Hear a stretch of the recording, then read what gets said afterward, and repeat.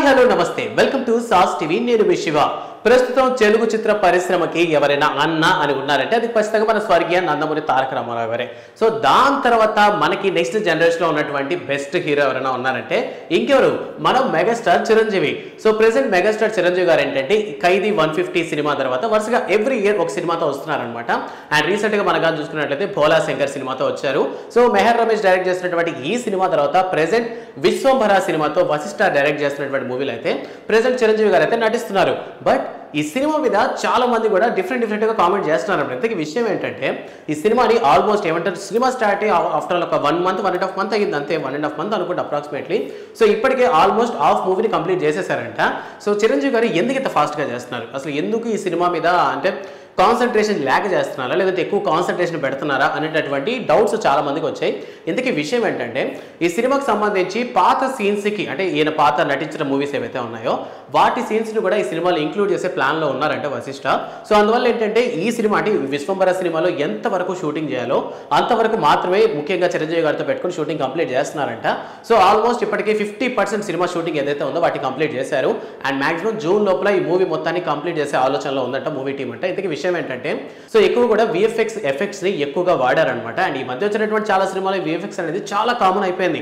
So అందువల్ల ఏంటంటే shooting part అనేది చాలా తక్కువగా ఉంటాయి మాక్సిమం విఎఫ్ఎక్స్ ఎఫెక్ట్స్ ఎక్కువ ఉంటాయి కాబట్టి షూటింగ్ పార్ట్ చాలా తక్కువ ఉంది. సో అందువల్ల ఏంటంటే వశిష్ట కూడా పెద్దగా ఇబ్బంది పెట్టదలుచుకోలేదు చిరంజీవి గారిని. సో అందువల్ల ఏంటంటే సినిమాని ఎంత వీలైతే అంత త్వరగా కంప్లీట్ చేసేస్తే చిరంజీవి గారు కొంచెం రిలాక్స్ అయిపోతారు. దాని తర్వాత మన ఈ సినిమాకి సంబంధించినటువంటివి అన్ని కంప్లీట్ చేసుకుని మొత్తానికి జనవరి tenth two thousand twenty five release చేద్దాం అనేటటువంటి ప్లాన్లో ఉన్నారంట. సో అందువల్ల మాత్రమే ఈ సినిమా షూటింగ్ చాలా త్వర త్వరగా కంప్లీట్ చేస్తున్నారు.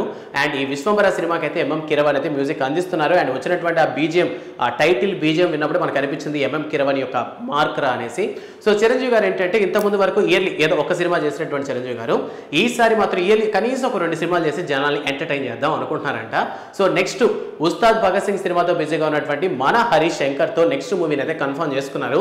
సో జూన్ తర్వాత ఆల్మోస్ట్ హరీష్ శంకర్తో మూవీ చేసే ఛాన్సెస్ చాలా చాలా ఎక్కువగా ఉన్నాయి.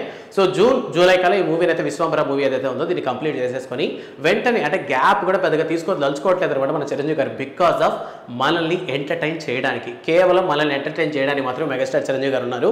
సో ఊరికి అందరూ మెగాస్టార్లు అయితే అయిపోరు. సో ఎందుకు మెగాస్టార్ చిరంజీవి అయ్యాడు అంటే సో ఇదనమాట కారణం. సో జనాల్ని ఎంటర్టైన్ చేయాలి. జనాలకి కాస్త పనికొచ్చేటటువంటి విషయాలు చెప్పాలి. జనాల్ని కాస్త దగ్గరుండి చూసుకోవాలి. లైక్ ఈ విధంగా మన చిరంజీవి గారి ఆలోచనలు ఎప్పుడు ఉంటాయి. లైక్ ఈ ప్రెసెంట్ అయితే ఈ విశ్వంబర సినిమా షూటింగ్ అయితే అందుకని చాలా త్వర త్వరగా కంప్లీట్ చేస్తున్నారు అనమాట అండ్ బింబిసార సినిమాతో కళ్యాణంతో వచ్చినటువంటి ఈ సినిమా వశిష్ట చాలా బాగా తెరకెక్కించాడు. ఆ విషయం మనకు తెలుసు. వశిష్ట ఏంటంటే ఒక డైరెక్షన్ స్కిల్స్ అనేవి ఇప్పటి వరకు తీసిన వాళ్ళ ప్యాటర్న్తో పోలిసి కాస్త డిఫరెంట్గా ఉంటుంది.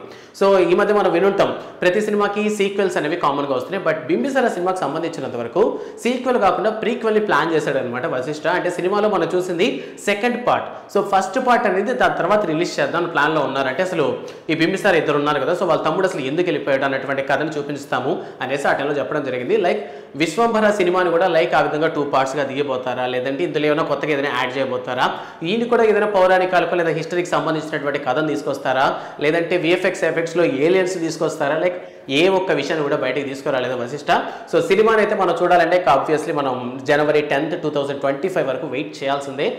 అండ్ హరీష్ శంకర్తో కూడా ఆల్మోస్ట్ మూవీ కన్ఫర్మ్ చేసుకున్నటువంటి మన చిరంజీవి గారు అయితే మాక్సిమం ఆగస్ట్ ఆ టైం కల్లా పట్టాలు ఛాన్స్ అయితే ఉన్నాయి. సో ఈ సినిమాకి సంబంధించి డిఫరెంట్ ఒపీనియన్స్ ఉన్నటువంటి మీరందరూ కూడా కామెంట్ సెక్షన్లో మెన్షన్ చేయండి. ఇప్పటి వరకు మీకు నచ్చినటువంటి చిరంజీవి గారు బెస్ట్ మూవీ ఏంటి? అని మీకు మిమ్మల్ని బాగా ఇన్స్పైర్ చేసిన మూవీ ఏంటి? అన్న విషయాన్ని కామెంట్ సెక్షన్లో మెన్షన్ చేయండి. అండ్ నాకు పర్టికులర్గా అయితే చిరంజీవి గారి సినిమాలు ఆల్మోస్ట్ అన్ని ఇష్టమే అనమాట సో మీకు నచ్చినటువంటి ద బెస్ట్ మూవీని కామెంట్ సెక్షన్లో మెన్షన్ చేయడం మాత్రం మర్చిపోవద్దు. అండ్ చిరంజీవి ఫ్యాన్స్ ఎవరైనా ఉంటే వాళ్ళందరూ కూడా వీడియోని షేర్ చేయండి.